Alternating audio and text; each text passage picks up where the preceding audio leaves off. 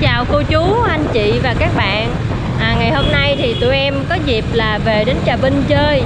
À, Tụi em ở nhà cô đó là à, Nói chung là nhà cô thì ở gần cái ngã tư uh, Ngã tư Sambua, gần Ao Bà Ôm.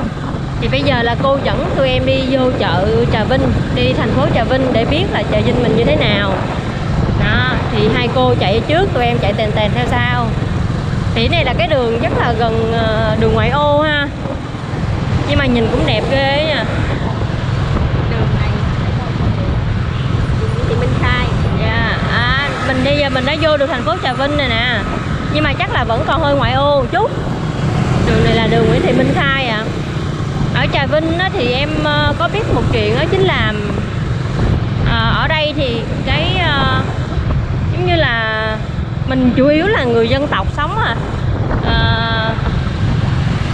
hoặc là mình mình cũng có người ờ, người hoa nữa. Trà Vinh với là Sóc Trăng á là nó gần gần giống như nhau vậy đó đây mát mẻ ha. Ờ. Hay là tại mình đi ngay trời mát mẻ ta. Chắc dám vậy lắm. Với lại ở đây cây xanh nhiều nè hai bên đường là đều có cây hết. Cái này cái gì vậy ta? Ở Trà Vinh bây giờ ờ, xây lên ờ, nhiều cái đẹp lắm. Ờ. nói chung là ờ, cũng có nhiều cô chú mà tụi em ờ, quen biết á thì ờ, quê ở Trà Vinh. Dạ. Và có một chú đó thì chú là cũng ờ, ô vô đi chị À, cái này là- Trà Vinh ngày cái này là sân bay Trà Vinh ngày xưa nè chú ơi. À, chú Chiêu Thạch. Thì đang quay kìa. Sân bay Trà Vinh ngày xưa. Bây giờ là khu hành chánh hả cô? À, à, bây giờ là quân. nằm đây. muốn vô là phải vòng đường kia chứ đường này ở mình ở phía ngoài rồi đúng không cô này đường kia đường mình vô là đường trong đúng không cô cái này là ở phía ngoài. Dạ. Đây. à, Kia là kia là nhà khách. Giờ mình phải chạy từ từ lên. Dạ đây người đẹp của em đây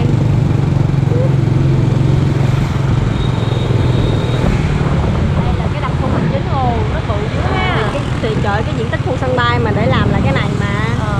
rộng lắm đặc khu hành chánh hình như như- dường như giống như nhà hát vậy À, ở đây nó có để cái bảng à trung, Trung tâm tâm hội hội nghị nghị. tỉnh Trà Vinh Đây.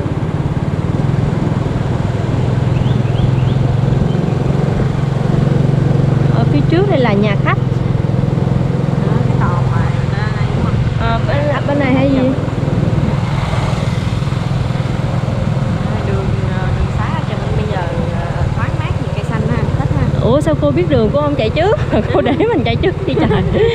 Đây là lần tụi em đặt chân tới Trà Vinh luôn á.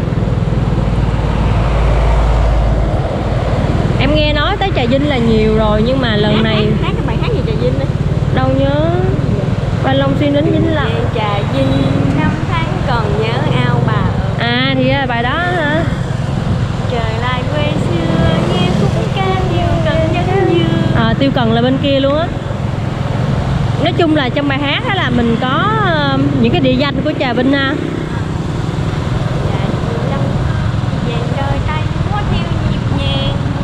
à, là trong chính bài hát là mình cũng có thể hiện được là cái dân tộc ở trong đó luôn em xinh xinh quên mấy cái tim Trà Vinh.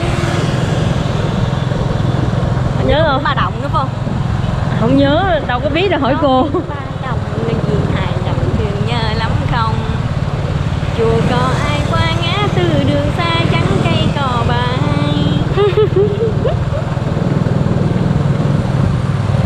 em cũng biết Trà Vinh á là tại vì ờ, gốc cát ở bên nội em á là hồi xưa là ở Trà Vinh xong rồi mới xuống Bạc Liêu chung là gốc xưa sửa sửa xưa rồi. Bây giờ cũng còn bà con ở Trà Vinh nhưng mà thì ra không biết ai đâu. Hai cô ơi, sao mà để tụi con lạc lối thế này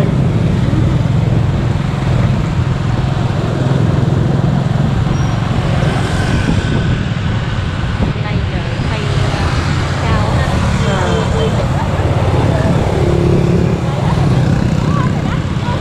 khách sạn khách sạn Thanh Bình Trà Vinh mình thì có những cái đặc ờ, trưng gì vậy đó à em nghe nói là ở Trà Vinh á, là có cái đặc sản của Trà Vinh đó là chai quất thì trái quách trái quách hoặc là trái quách đều được. Thì cái có khác nha. trái quách. Thì cái cái trái quách này á là thường á là cái vùng nào mà người dân tộc sống á, thì họ sẽ trồng cái trái quách rất là nhiều. Bởi vì ở sóc trăng cũng có nhất là cái khu vực mà vĩnh châu á vĩnh châu sóc trăng bạc liêu á là cái trái quách rất là nhiều thì cái trái quách này á, nó có cái tác dụng á là trị nhức đầu rất là hay. Giống như là mình ăn để mình dưỡng não vậy đó, chứ còn mà, gọi là trị mà mình bị nhức đầu mà trị nhức đầu thì không thể nào. Tại vì cái trong trái quách á, khi mà mình bổ ra nhìn như như cái não vậy. Thiệt mà. Từng cái cọng sợi sợi sợi dây sợi dây của nó nhìn tưởng như là những cái đường mạch máu không á. Mà trái quách á thì đặc biệt là ai mà biết ăn á, thì ăn rất là ngon bởi vì cái mùi của nó nó hơi có mùi một tí giống như là sầu riêng hoặc là mắm Mùi vậy khó chịu. Ờ, còn nếu mà cô chú anh chị mình mà không có chịu được cái mùi đó thì mình ăn không có được đâu. Mà cái đó thì ờ, chỉ, chỉ có người mà dân tộc á, mới trồng được thôi. Ồ bây giờ cái đây là nắng á. Này là ngã ngã ngã, ngã tư hả ta? Ngã tư. Mà ngã tư gì cũng không biết đâu không có thấy tên đường luôn á nãy giờ á bây ở đây ngân hàng cũng nhiều lắm đó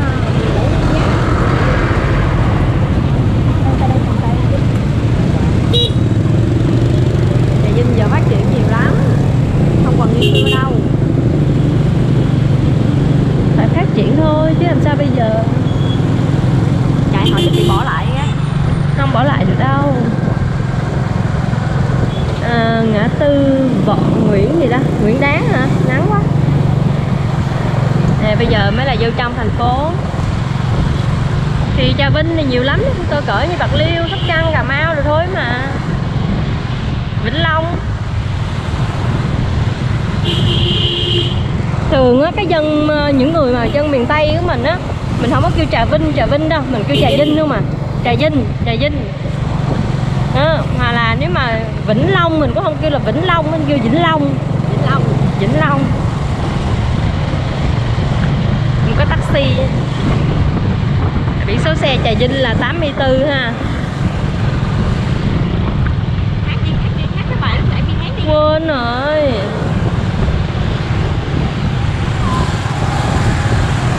Cô nói là nếu như mà ở đây lâu xíu á thì nó sẽ có lễ hội ốc. Con bóc là lễ hội đua ghe ngo phải không ta? Hay là khác ta? Ốc con bóc. Ốc con bóc thường những cái lễ hội là những cái lễ hội mà dân người dân tộc á là nhiều. Tại vì à, đa số dân số mà sống ở trà vinh là người dân tộc. Ốc bông bóc ở sóc trăng cũng có nữa đâu cô?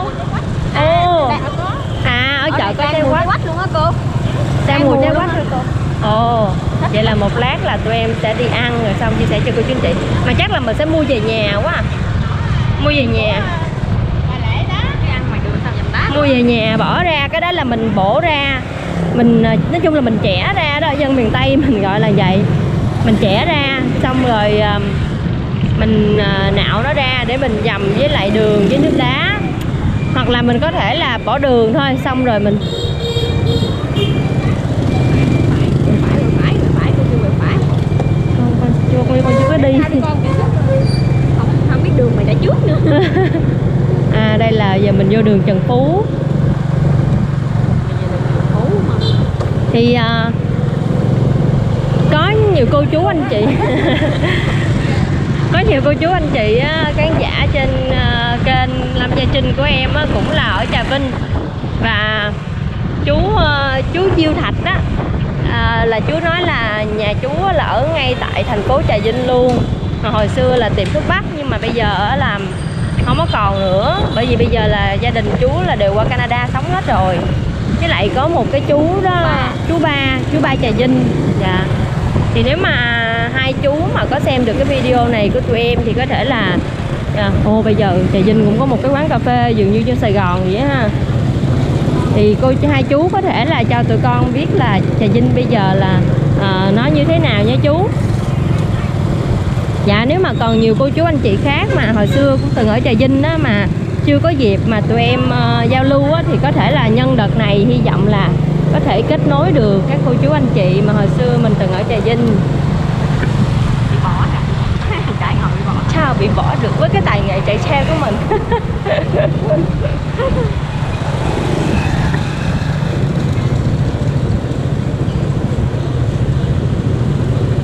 đèn đỏ, xe hai bánh được phép rẽ phải. Ở ngã tư Phan Đình Phùng. Ở đây cũng, mình cũng có mấy cái miếu ha. Dạ mới đèn xanh thôi mà chú. Thường á, ở các cái chỗ miền tây của mình nó là hay có mấy cái miếu như thế này á. Cái nhỏ nó cũng là một cái nét văn hóa. à.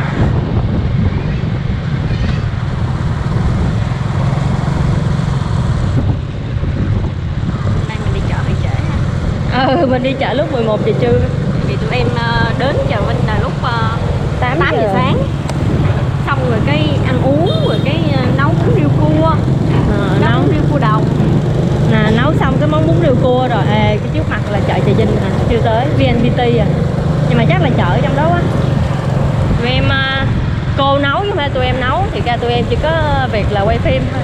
À, em có làm cua mà. À beo đó có làm cua nữa à beo đó có tách cua nữa. Chữ chùa nha. Yeah. đây à, chưa miếu này miếu của người hoa nè. Trà vinh là người à, người dân tộc với lại người hoa sống rất là nhiều.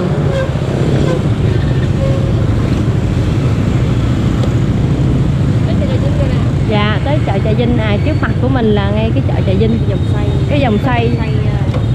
ờ, không biết hình gì luôn. Cái, cái bàn tay không phải luôn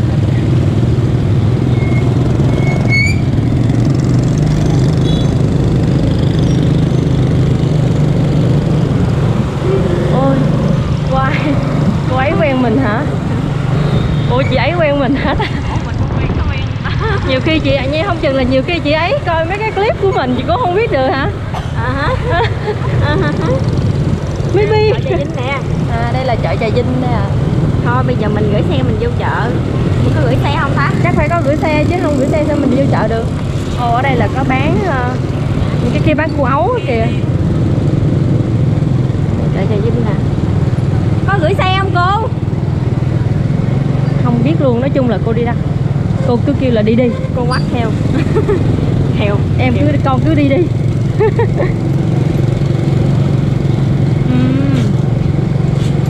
Chắc chào cũng chỗ gửi xe quá. Không bây giờ thì mình cứ đi đi. À. Xe ô cấm dẹp. Chắc là không chừng là cô cô cho mình đi vòng ngoài. Ở đây bán trái cây. À có thể mình xe ở đây. Không phải luôn nắng quá sao nắng thiệt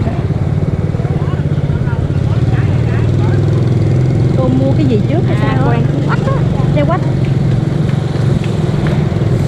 Ú chà ú chà. này mình mới đi vòng ngoài thôi. Sau một lát nữa mình sẽ đi vòng trong. Chà chà. Ờ, đi như xe ngựa vậy á ừ, ừ, ừ. vui ha nó dặn Vui. nó dặn luôn ế, ế, ế.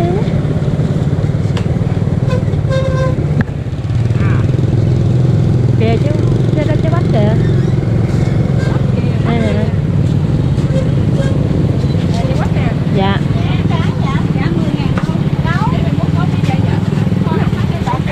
cái này chứ ở đâu là ngàn để nó mua chín ngàn cái tôi muốn ăn không thơm lắm à mùa này bắt ba trái hai chục ngàn đi trời thơm lắm luôn á giờ lấy cô ba trái hai mươi lăm ngàn trả không dạ hết trả rồi anh thích quá cơ cái này là chín mùi hết rồi đó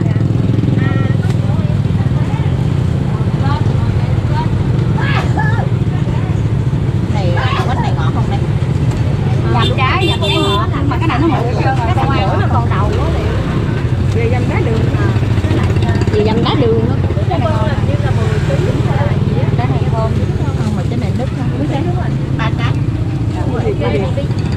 ba trái đủ 25 ngàn của cô Thư là cái thùng có 5 kg á rồi còn lại là của cô Trân à, cô em ờ, tìm quách rất là thích ăn cây quách thì có gì thu chi như thế nào thì cứ tự tự tiết kiệm tiền tiền trên đó hết rồi đó còn mua gì nữa không cô còn mua gì nữa không cô? À mình đi vòng vòng mình coi giờ mình đi vòng vòng chợ chợ chợ vinh mình coi luôn. Cô giờ cô mua xong trái quách rồi. Mục đích của mình đã làm xong rồi bây giờ mình sẽ đi vòng vòng. Đúng rồi. Lên xe, lên xe, lên xe.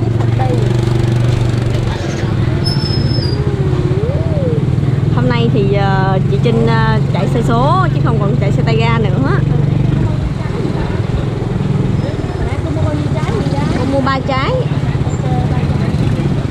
Ba trái 25 ngàn á. Đúng rồi, trái quách không có để đâu Tại vì nó khó trồng lắm Mà chỉ có, chỉ có tùy chỗ trồng thôi à, ha. Với lại không phải là như là mảng cầu hay gì á Mà chỗ nào như là mình, mình dễ trồng hơn á. Hình như nó bằng tự nhiên không ta? Trái quách là tự nhiên luôn Tại vì không chỉ có duy nhất là có người dân tộc là mới biết trồng Không biết à Ngoài ra là không có chỗ nào trồng được Hạt sen hạt sen á cô?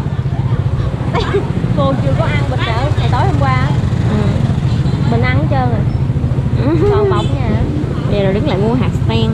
Đây có hạt sen trong bọc hoặc là hạt sen ờ, hạt sen tươi. Hạt sen tươi cái này lột vỏ có củ sen nữa kìa có ngó sen nữa kìa. Ngó sen thì dễ. Ê, cái ngó sen trắng trắng đó trong trong phao á. Cái đó làm rỗi ăn ngon lắm á.